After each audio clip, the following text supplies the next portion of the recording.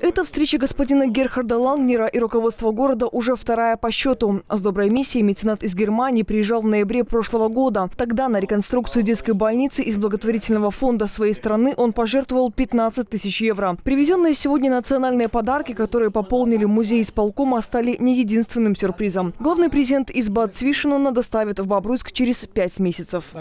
Я организовываю эту помощь, и многие люди в Германии жертвуют деньги, на которые я потом приобретаю все, то, что необходимо. Я не богатый человек, я обычный, просто у меня много друзей и внутренняя потребность помогать людям. Я должен что-то сделать, это у меня в характере.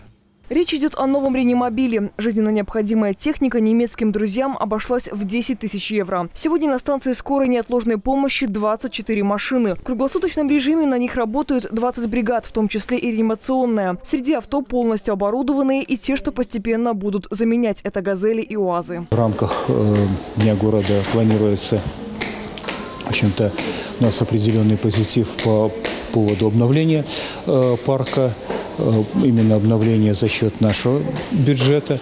Вот. Ну и когда есть еще помощь из нее, это всегда достаточно хорошо. Герхард Лангнер также посетил медучреждения города. Среди них та самая станция, а еще стоматологическая поликлиника и будущая детская больница. Большой акцент во время экскурсии по городу был сделан на медицинский туризм. Возможно, в ближайшее время в санаториях Шинник и Ленина оздоровятся и туристы из города Бацвишен. Мария Бересневич, Максим Галеонко, Бобруйск, 360.